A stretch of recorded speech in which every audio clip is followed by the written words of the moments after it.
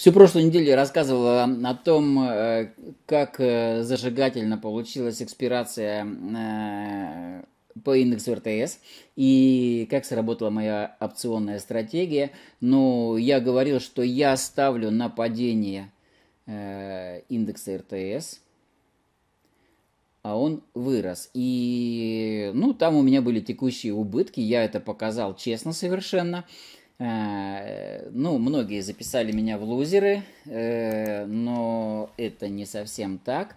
Дело в том, что я продолжаю все-таки оставаться в шорте по индексу РТС. И когда вот обсуждение шло, мне пишут, Юрий, РТС продолжает расти, а ты в шорте. Может, ты закроешь эти фьючерсы, потому что он растет. А я такой, э, ну, я был в Москве в это время, то есть я э, с 11 до часу дня э, был на вебинаре вот в открытии брокер, а потом, а потом я уехал в Москву. Но я видел, что индекс РТС продолжает расти, и, соответственно, растут мои убытки, увеличиваются. И я думал, что же делать. Вот. Ну, я приехал уже достаточно поздно из Москвы. Я подумал, подумал, посмотрел на все. И что вы думаете? Я увеличил позицию на шорт.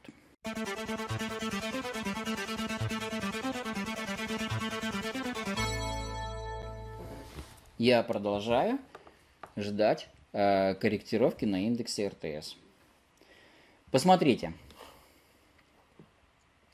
когда э, у меня завершилась э, экспирация по индексу РТС, у меня было э, продано 8 фьючерсов на индекс РТС по цене 115 тысяч. Вот э, по этой цене. А он... Э, что, что я сделал после закрытия? Было 9. Было 9.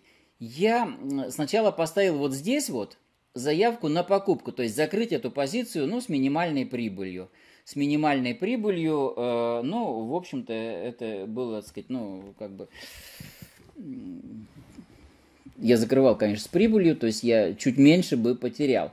Вот, но я поставил заявку сначала на покупку, а потом я переделал эту заявку на условную заявку на take profit. И я решил, что если он будет падать, то я поставил take profit, значит, там с хорошим э, запасом, то есть он будет падать и постепенно будет, ну, э, если индекс РТС падает резко, то, в общем, эта э, стоп-заявка принесла бы мне прибыль, и она сработала, и вот она принесла прибыль, вот вы видите, вот она, эта стоп-заявка, вот она э, заявка, но когда я выставлял стоп-заявку, честно скажу, я ошибся. Я поставил только один фьючерс. Я забыл исправить вот это вот количество фьючерсов. У меня купился только один фьючерс с прибылью. А остальные 8 у меня остались, и э, индекс пошел вверх, и они продолжили генерировать мне прибыль. Теперь давайте посмотрим, куда идет индекс э, РТС. Он ушел вверх, и он уперся, вот он, э, вот э, предыдущий максимум был, вот он максимум. Посмотрите, э, он сейчас у верхней границы, пробьет он ее или нет, я не знаю. Может пробить? Да, может, конечно, может вырасти. При каких условиях вырастет индекс РТС? Давайте посмотрим. Индекс РТС, это, напоминаю, это индекс московской биржи, выраженный в долларах.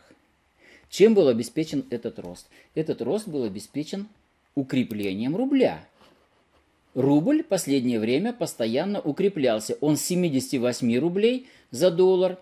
А, доллар опустился до 76-125. Будет ли продолжаться вопрос такой вот укрепление рубля? Чем было вызвано укрепление рубля? Во-первых, это налоговый период заканчивается, и экспортеры продают э, свою выручку для того, чтобы заплатить, заплатить э, НДС. Это первый фактор. И второй фактор. Э, Россия разместила э, опять достаточно большое количество э, ОФЗ. Она торопится их разместить, пока условия еще позволяют, пока не началось падение, которое все ждут. И поэтому они говорят, блин, давайте побыстрее, побыстрее. В начале, э, вот э, в, в октябре э, надо, то есть все, что запланировали разместить, э, ну, э, большая часть уже размещена в ОФЗ. Что такое размещение в ОФЗ? То есть Минфин объявляет о дополнительном выпуске ОФЗ, облигаций федерального займа, которые продаются в рублях и которые дают достаточно хорошую доходность. И что делают иностранцы? Они берут и хотят эту получить доходность, потому что за рубежом такую доходность гарантированно получить невозможно, нет таких инструментов. Понимаете? И они вкладываются. Что они делают? А ОФЗ продается за рубли. Поэтому иностранцы вводят доллары сюда, продают здесь доллары за рубли и на эти рубли покупают ОФЗ. То есть это называется арбитраж. Потом э, они получают прибыль от э, ОФЗ в рублях, конвертируют эти рубли туда и переводят э, э, к себе за рубеж. То есть сейчас э, они покупают ОФЗ, достаточно большая часть, там, по-моему, 30 или 40 процентов ОФЗ покупается не резидентами, то есть для этого они э, продают доллары. И поэтому доллар тоже падает. Вот, но УФЗ размещены. Налоговый период готов. Он до 25 числа, сегодня 25 число, сегодня воскресенье, то есть пятница, последний день. Я все еще жду, что э, ну, доллар подпрыгнет в понедельник, я надеюсь, я верю в это а, соответственно, индекс РТС при этом упадет. И вот они, сказать, вот на максимуме, поэтому я жду падения индекса РТС. Что я сделал со своей опционной стратегией? Я выкупил еще один э, индекс, зафиксировал убыток по нему и докупил опционов. Я продал 23 опциона кол со страйком 117 500. Вот она. То есть я верю, что э, индекс РТС не вырастет выше, чем 117 500. Если вырастет, то эта позиция начнет генерировать мне убытки. Э, в это же время я купил 30 опционов кол со страйком 120, то есть со следующим страйком. Вот с этим страйком. То есть если он вырастет, то у меня начнет э, уже э, вот эти вот генерировать прибыль. Вот, и э, они вместе, ну, как, э, антагонисты. То есть вот этот вот мне генерирует вот здесь убытки, а вот эти генерируют прибыль. И после того, как линия пересечется, прибыль, э, ну, увели, э, будет э, больше, чем убытки.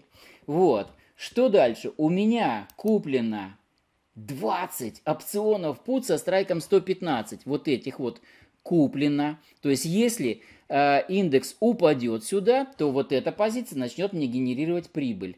Э, но пока, пока индекс далеко от отсюда, я считаю, ну то есть его можно купить по дешевке. То есть он вырастет многократно, если он начнет падать. То есть я рассчитываю на падение. И у меня по-прежнему э, вот минус 7 сейчас э, индексы в РТС. Давайте посмотрим, как выглядит эта стратегия. Вот как она выглядит в данный момент.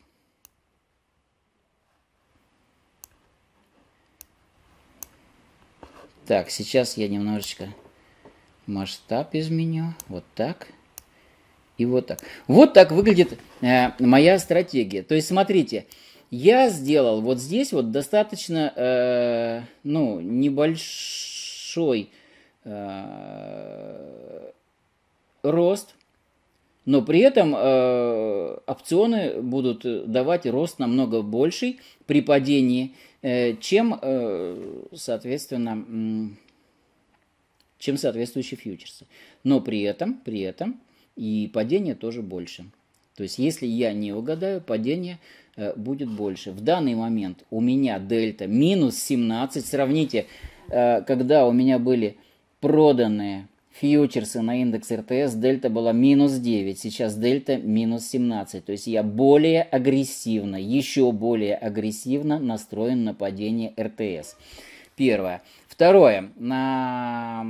Дальше, если индекс РТС будет расти, то э, у меня начинают, э, как я сказал, генерировать прибыль вот эти опционы call, и, соответственно, вот если мы вдаль посмотрим, то у меня все сбалансировано, но, на, на бешено низких уровнях. Теперь посмотрим, э, вот что будет без вот этих минус 7. Оп, вот она. Посмотрите, без вот этих минус 7, без 7 фьючерсов, которые я могу просто поставить, э, то есть если пойдет рост, то я их, конечно, загашу. То есть если пробьет вот эту вот линию, то я э, их загашу. У меня э, без них 0. То есть на момент экспирации вот здесь 0. Если у меня к моменту экспирации э, без этих фьючерсов РТС не вырастет выше, чем 117 500, то, в общем сказать, у меня все сбалансировано. Ноль. Я ничего не потеряю. Но если только он начнет, начинает падать до 115 тысяч, то есть вот всего-то вот сюда он упадет, то я возвращаю, ну, 25 тысяч. И как только он пойдет снова в рост, я беру и вот эту э, позицию э, опрокидываю вниз, вот это вот крыло, вот это крыло я опрокидываю вниз, то есть я э, продаю, ну, ближайшие опционы put, и э, покупаю там подальше уже, поглубже. То есть, соответственно, я поднимаю вот эту планочку. Ну и, соответственно, гашу, э, естественно, я по take profit гашу вот эти вот фьючерсы. Это очевидно. Вот так. Ну, посмотрим, что будет. Я все еще говорю, что я... Э, э, ну, чем выше он растет, тем больше вероятность того, что он когда-то упадет. Поэтому я э, увеличил вот эту самую дельта. Вот э, такой я упертый на самом деле, поэтому э, вы можете меня поддерживать, можете нет, можете наблюдать. Я вам советую наблюдать. Я вам крайне не советую повторять э, то, что делаю я. Лучше смотрите. Я вам рассказываю э, свою мотивацию. А что у меня получится, вы увидите. И тогда уже делайте выводы, прав я или не прав. На сегодня все. С вас лайк, спасибо. С вами был Демитков Юрий.